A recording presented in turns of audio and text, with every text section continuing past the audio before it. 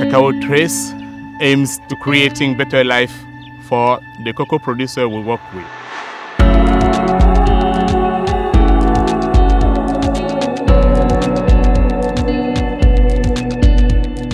Avant, il n'y a pas de gens pour nous former comment il faut travailler dans les champs. On fait ça comme ça.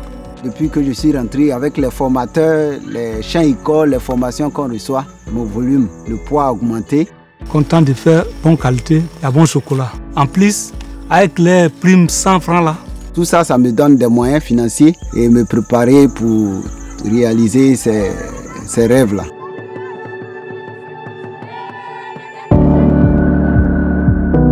Cacao Trace is a community, it's a passion, it's a shared responsibility. Always look for better ways to improve our program. So we have initiated the chocolate bonus. For every kilo of chocolate that is sold, 10 cents goes back to the producers community.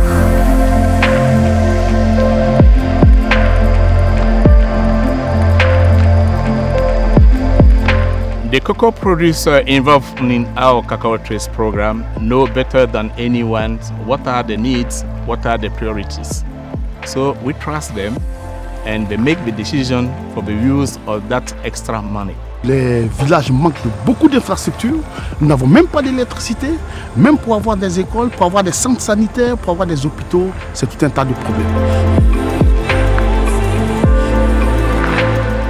Cacao Trace can change the world. And to do so, we all need to put our efforts together in order to better impact life of the cocoa producers in the cocoa producing areas.